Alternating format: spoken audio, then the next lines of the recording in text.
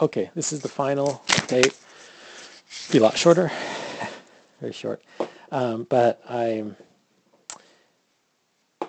yeah, I hope, I hope. Uh, so it's basically just maybe like, um, what would you call it? Debriefing or whatever, like a kind of a, just afterthoughts on, on the whole experience of the Watchtower and, and being a survivor from that and everything. Um, I really do feel that it kind of, um, yeah, it was it was horrible. That things could have been a lot different um, because of all the active effort, not just the, you know, neglect is one thing, but when you're actively trying to fuck up somebody's life, like they did with me and, and my sister and other people, other kids I saw in the organization, then um, that's really terrible because you've got they're blocking other people that want to help you, like my aunt or um, teachers that I knew at school, just neighbors, anybody. They, we, they would actively be blocked and train me to block them from helping or trying to integrate me into society at all, and you know, to live a a good, healthy, proper life. So that was terrible. Um, forget what I was going to say. Yeah. So as far as like uh, recovery, I don't know. This is a sticky topic, I think. But I'll mention just a few things. So one is I, in my case, I had to do this, and I would not have done it any other way. It's a good thing, I think, at my pace. So I had to confront my family when I did, the way I did and I, I don't think it would have been right to have done it earlier. And some of that's just physical, like when I was 15, you, you know, you can't go anywhere else. And also I didn't have enough information or enough, you know, like teenagers are all over the place anyways. You know, it was just, you know, having to face down your own par- parents and everything at that time would have been impossible. So you've got to do it at the time and later, even just emotionally or it takes a lot of resources and these type of things are designed to sabotage you. That's how these watchtower keeps going. They make it so sticky and ugly that you are partially involved and therefore a lot of people, most people will feel guilty, at least partially guilty. And that's how they're able to trap people. It's a false um, guilt, you know, that, but it's been very cleverly and forcefully implemented. So they're able to make people feel like they were responsible for the abuse. It's sort of like any abuse, whether it be whatever. You know, say kids are sexually abused, it's routinely they feel I've heard this, I'm not an expert on this, but they say they feel guilty and often they're the the attacker would be somebody the family knew, even a relative, and they kind of I think it's called grooming or something. They'll basically prep the kid to make them feel a part of the crime and people, of course, you know, these are very young kids, you know, so they're not actually guilty, but they feel guilty. They're made to feel that way, and that's why it's so effective for fucking them up. Um, so the Watchtower works on a similar way. They want to implicate people, and other cults do that as well. And I'm sure you guys know about all these uh, books out there. You know, the Steve Hassan um, and um, Combating Cult Mind Control. Very good book. Um, what else? Lifton. Um, he was the guy actually that Hassan kind of got his inspiration from, and that was a very interesting book. I read that one too. It was on Chinese communist techniques during the 1950s they're using to brainwash people, and it, it's funny how you can see these relevant issues. So it's very similar to what they used there and what they're using in North Korea now, some of the techniques in a modern way, you know, and just the seriousness of these issues and that it's actually involved in, in politics. Like I mentioned North Korea, but there's also um, other organizations like terrorism, you know, these terrorist, what do they call them? I forget these schools where they go, those beehive type things or whatever. Anyway, uh, the Middle East. You know? So they, you get these um, different, very powerful phenomena if they're able to get people to do these horrible things or even have a nation state set up on that. So a lot of the same techniques go into the nuts and bolts of making it work in a sociological way. It's very interesting to study it, to actually break it down and take it apart because people have a sense of what's it's wrong, but they don't know how it works, and they are really um, it's surprising to to figure that out and very useful. So yeah, um, those are good books to help people kind of get a realization, you know, of what's how it works. Um, you know, and also like I said, you know, you got to face it down on your own terms. And that was hard as well for me. I was in a, a big rush. Naturally, everybody is, you know, to say what you know and to solve it. And I had these big dreams. They're very good and pure. And I wanted the whole family together and everybody happy. And that was my goal. And I'm realizing more and more now that that's just, at least in the in our case here, that they are not nice people and they didn't want to cooperate with me on that ultimately. And so um, that's their fault. You know, that's not going to be. And how you deal with that is really going to depend. In my case, I've been able to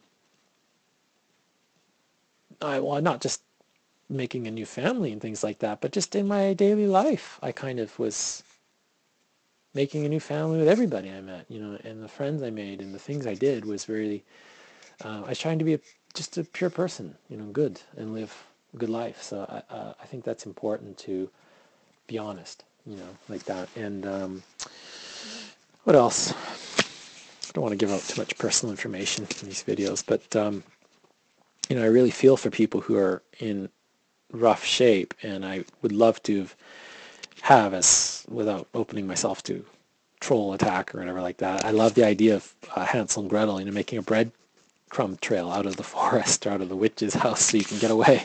And I love to show people what I did, and that's why I'd love you to see my face and to talk with you more openly, you know. But I, I have to be careful about um, privacy, security, things like that. But basically, yeah, you know, um, whatever. I think you shouldn't need that anyways. You can maybe figure out enough just from this video and from, there's a lot of information online now.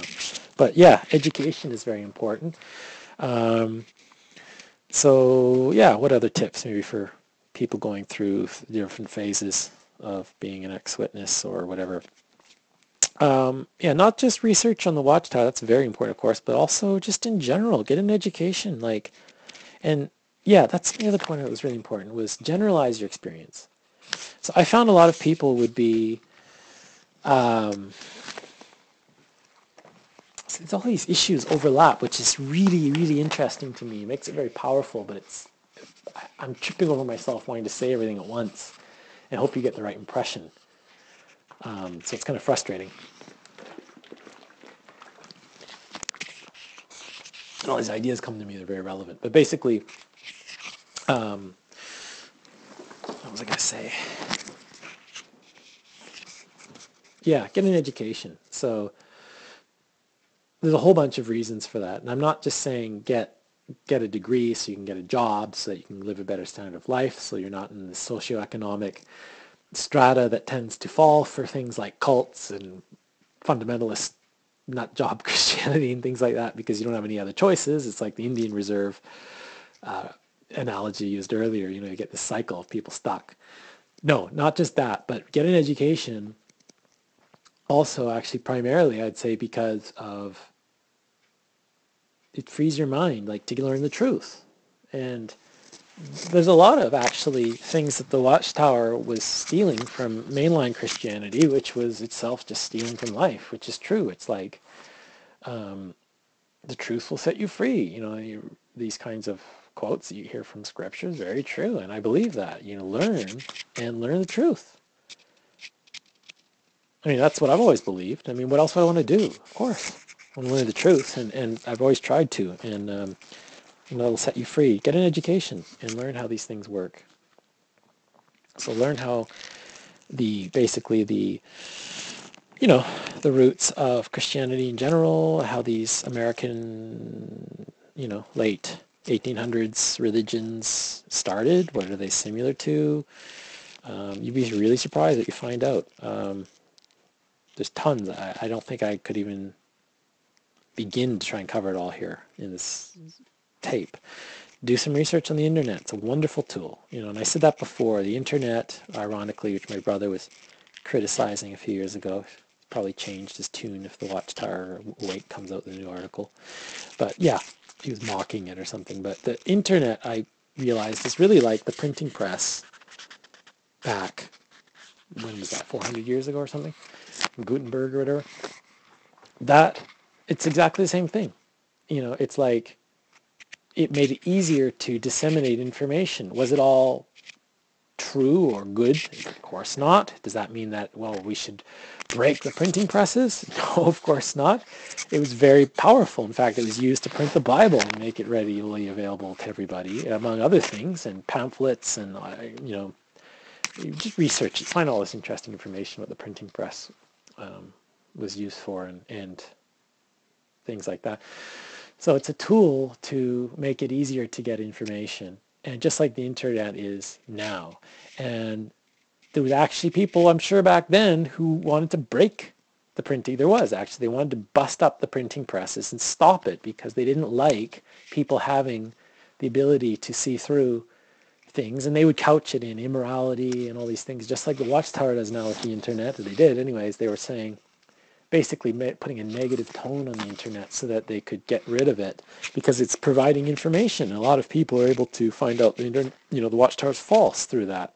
Just like spreading pamphlets before people could get free from the Catholic Church through Martin Luther or the other groups or people were able to read the Bible wherever they were in their own language and uh, they started to, you know, the the church or even could be all kinds of things. There's political evil kings, and people would, um, you know, be able to learn about them and break free or whatever from slavery and oppression, uh, abolition, uh, black people from Africa. I mean, all, all these things were all helped along by printing of books and pamphlets.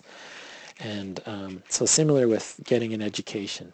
And a lot can be done on the internet, you know, but um, yeah, as well as, you know, if you could get to college or something like that and also just the whole things tend to go in bunches. It's like a famous trial lawyer once uh, said that you know it, it's like grapes, right? So you you tend to get things going together, and I found that very true.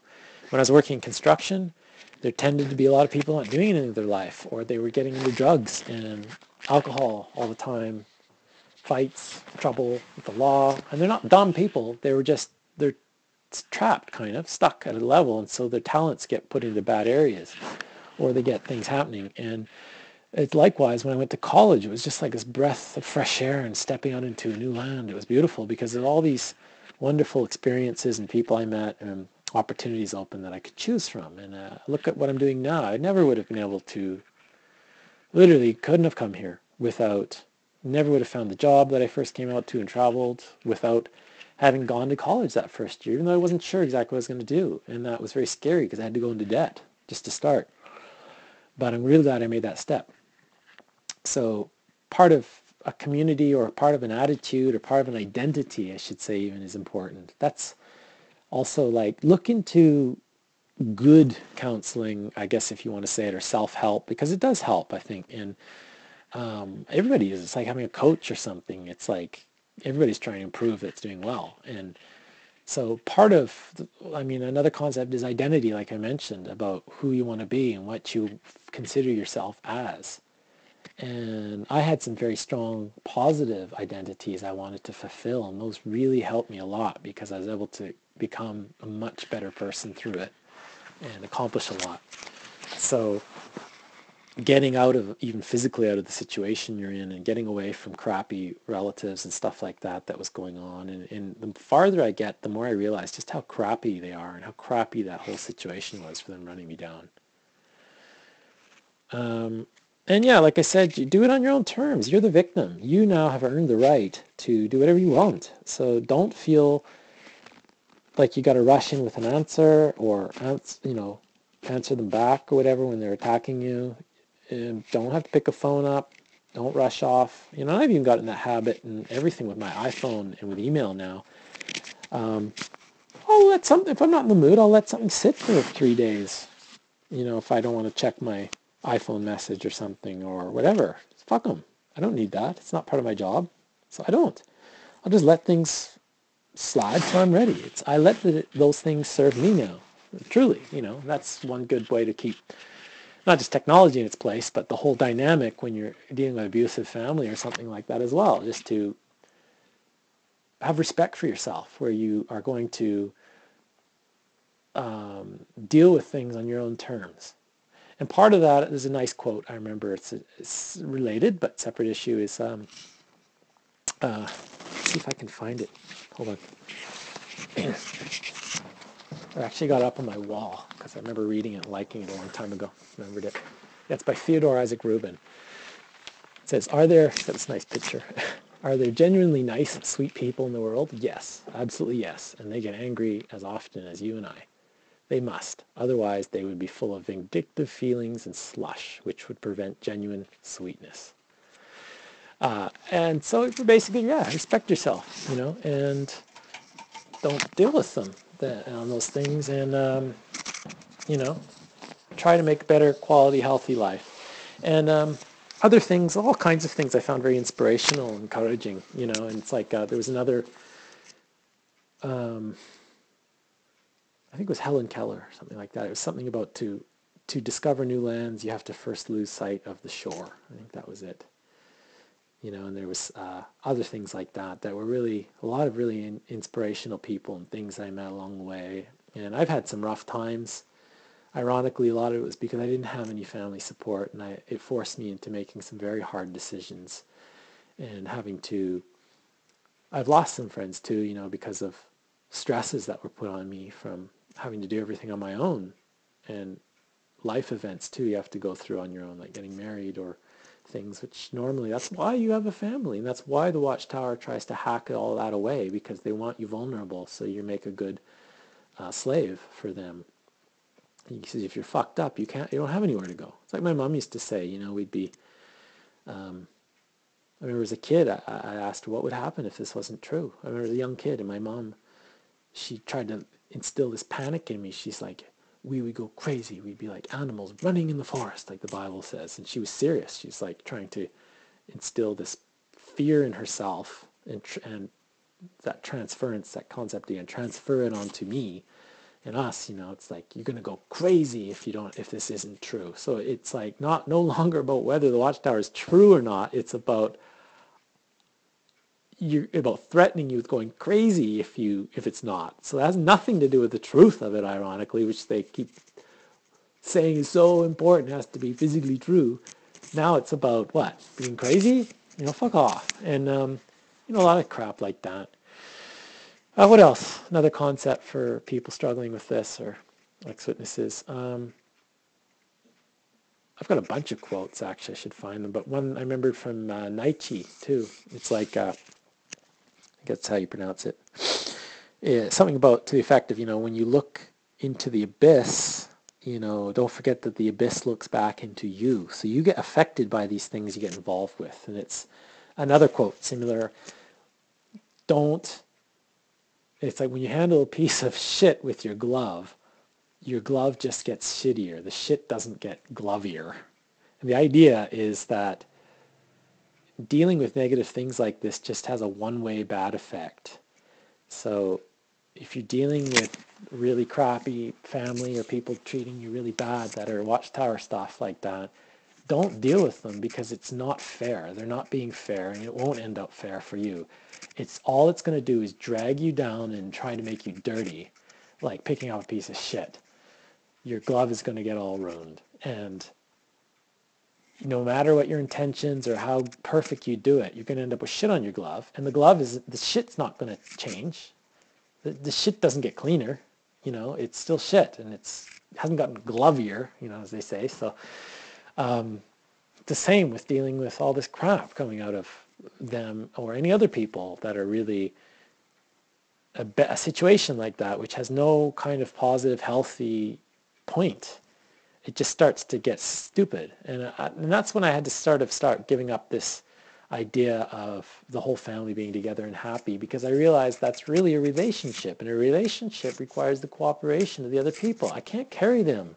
I can't cover for them all the time and do it and pull pieces of my heart out and have them smashed on the floor again and again and again by my family. I just can't do that. They're not cooperating with me. You know, fuck them.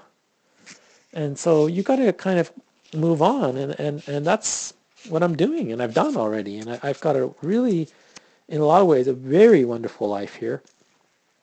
And, um, you know, things like kids are just tremendously important to me. And, um, you know, I don't want to deal with the crap anymore. In fact, there's a, a episode I, I forgot to mention about when I, I mentioned um, talking to my mom before on the phone. And yeah, that last time I, I talked with her and then the last message I had with my brother, he somehow, they had gotten the story because I was talking to my mom. I said it was really early in the morning. So long we talking that there's these kids going to school outside on their bicycles. And I'm assuming this is how, I, only thing I come up with, my mom somehow had repeated this after I talked with her and I said, James, James, James, after all this and they'd been rude to me and just, you know, trying to kill me, basically being completely horrible um, in their doctrines, you know, um, somehow they had fabricated this story. My brother suddenly sent back this snotty message, didn't have the guts to talk to me directly he said, I, oh, it's, mom said it sounded like you were drunk and heard screaming children in the back as if you were beating your children.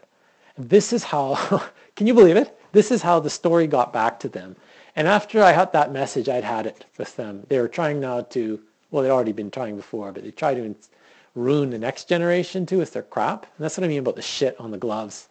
Just fuck them. You know, I'm done with this. And um, I realized it was just getting me upset to deal with them. There's no good fruit coming off of this. They are truly not, quote, suitable fish, unquote, or whatever. They're not having good fruits or whatever, fuck them, whatever fucked up analogies they use. So um, you get my point. So yeah, basically try to, I don't know, be good, live strong, all that kind of stuff. And um, yeah, um, that's all I can think of for now. So I'll leave it at that. Anyways, thanks for listening, guys. Bye.